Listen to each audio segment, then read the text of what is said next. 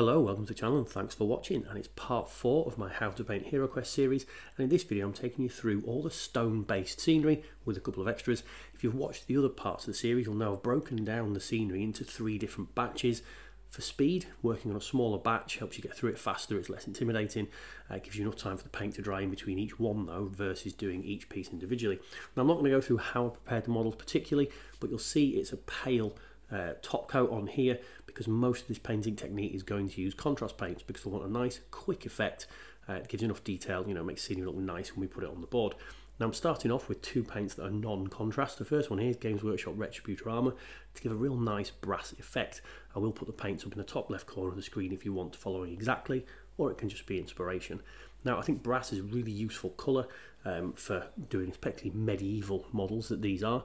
It just sort of adds a nice aged effect. And when you're using these metallics, not watering these down, these are not going on a wet palette or anything like that. This is just purely painted uh, onto a palette and straight off.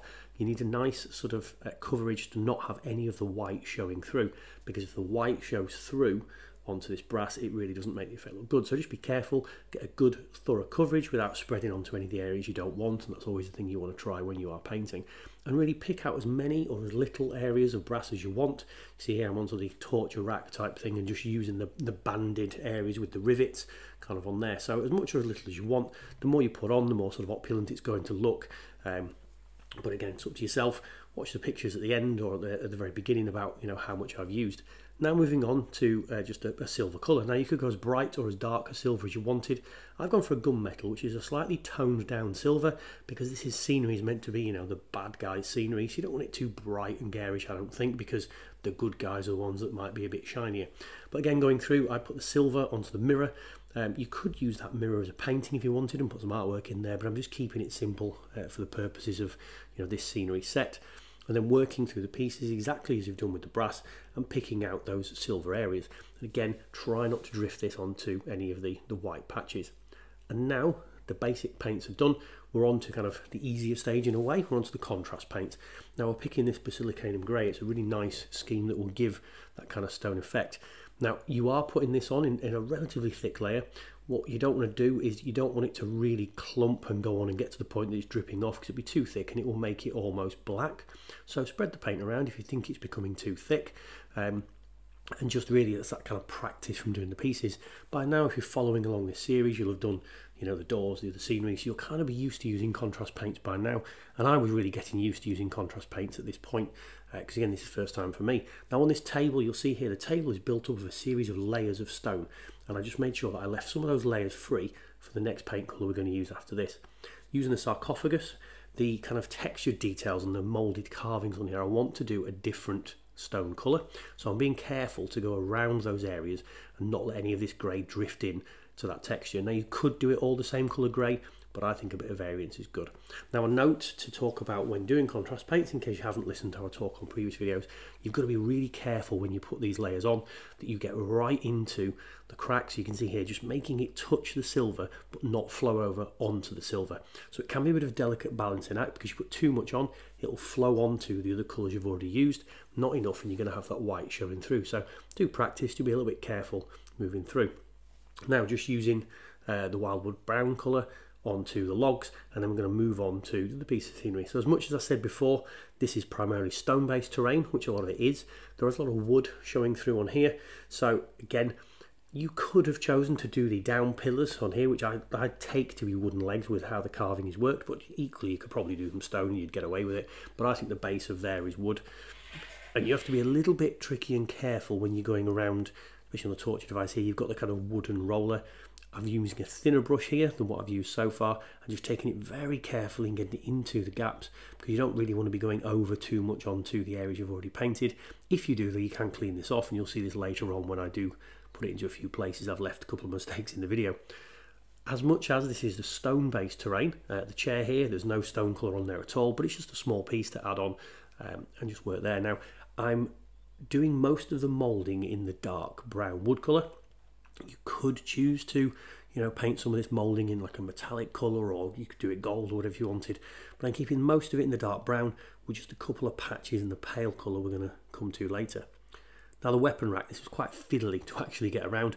A lot of wood here. I ended up painting this in kind of almost two batches, doing the bottom half first, standing it to dry for a few minutes, then working on the top half. There are a couple of places you can hold while you're painting it, but I just, you know, wanted it to dry a little bit so I wouldn't get too messy. And now we're working on the second stone colour.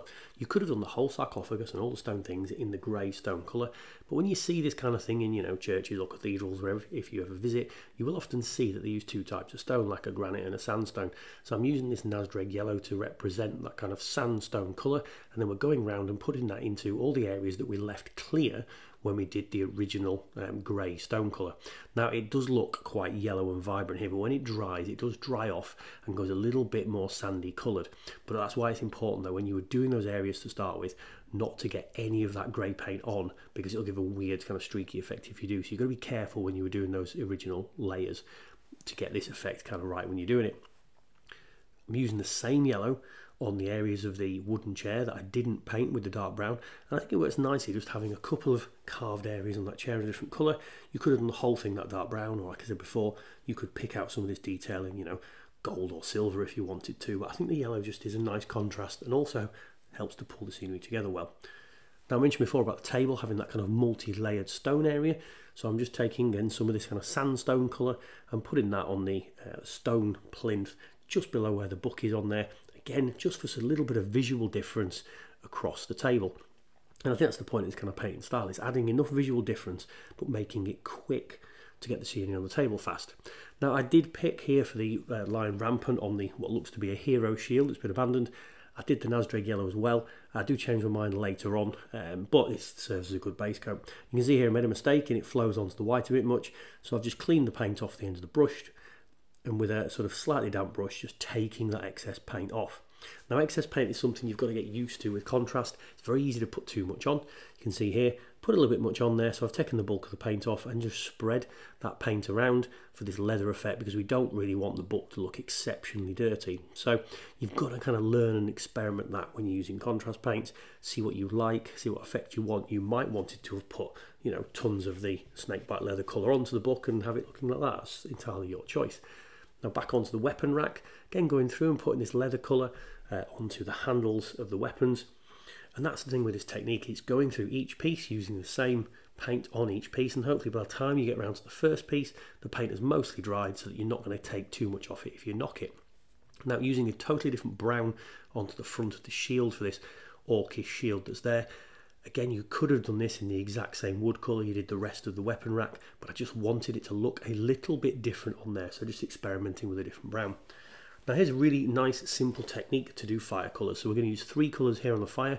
We're starting off with a very bright, uh, the Bad Moon Yellow, and putting that on the very base of the fire where it touches the wood, moving three quarters up, you've seen there. Then before the yellow dries, we're taking the red and we're working that from the sort of a third the way up to two thirds the way up up to the flames there. And as you've seen, I've just managed to paint the wood while doing that. So again, clean the brush, uh, get the excess paint out, and then just use that wet brush to wipe that paint away and then carry on.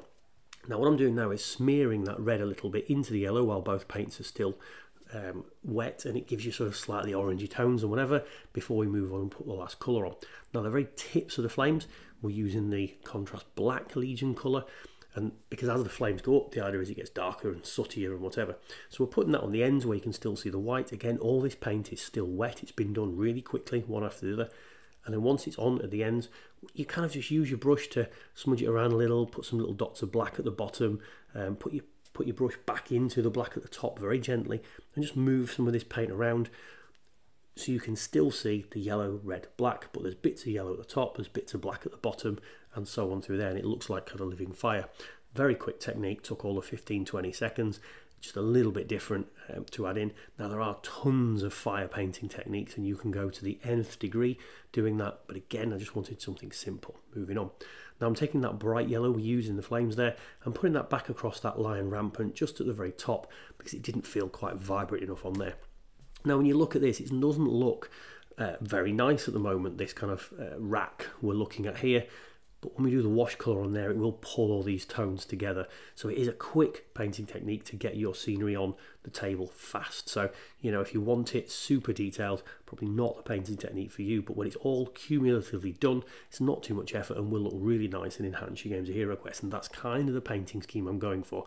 You know, not going to the nth degree of doing the work just keeping it looking nice. You'll see that I've used the same red we used in the fire uh, to do the pads on the chairs because that's a colour you see. You know, if you ever go to a castle or something, you're visiting that that they've redone to look like it would have done. Red seems to be that colour that gets used quite a lot, quite a regal colour. And obviously this is the sorcerer's lair, so it works quite well. Red also works quite well, I think, for the rags that are on the torture rack kind of area. So I've just picked those out in red, quite a vibrant, bold colour, and it'll stand out nicely on there. And then once you've got these rags painted, I've also used the red just to dot some very small parts of it around the shackles where there's still part of, a, of an arm on there and just some bits of red onto the stone surface and onto some of the chains just to put a little bit of gore on there. Nothing too fancy, but it does look quite nice when the end effect is done. So we're at the very end stages now. So I'm with the little shields around the sarcophagus, you could, you know, go mad, paint all sorts of different colours and little symbols. Again, talking about being basics, but adding a little bit of impact. Just taking the red and gone around and painting some red on all those shields there. Again, just to tie it together and some visual difference.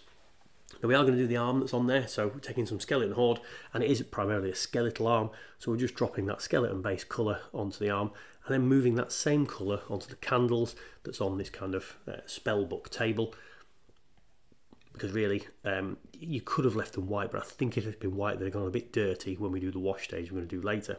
Dropped a tiny bit of yellow onto the candle flames it looks quite nice. And now I was going to finish at this point and move on to the wash stage you're going to see later but on the door video, if you've watched that, the video we did with the doors, the doors have got a lot of moss and ivy and things growing up them. So I thought it'd be fun to take some of that green and just put little patches of green in random areas across all the stone pieces. And you can see that again on the table here. So just trying to tie together what I did in video one with the doors.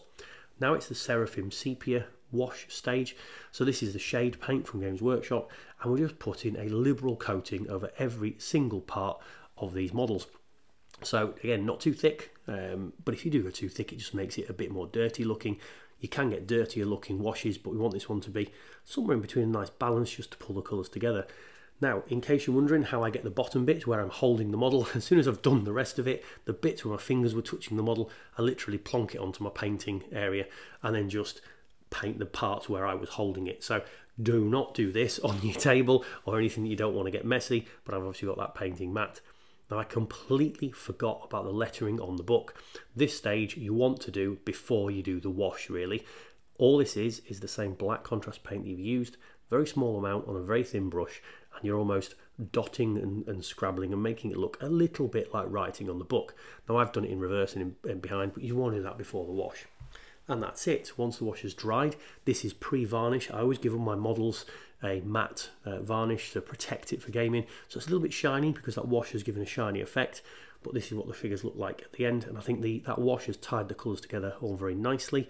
It's quite a cohesive little scheme there. I think it's, you know, for me, really looking forward to getting this on the uh, table as a collective of scenery to see what it looks like. But real happy with how everything's turned out. I don't think I'd do anything different particularly.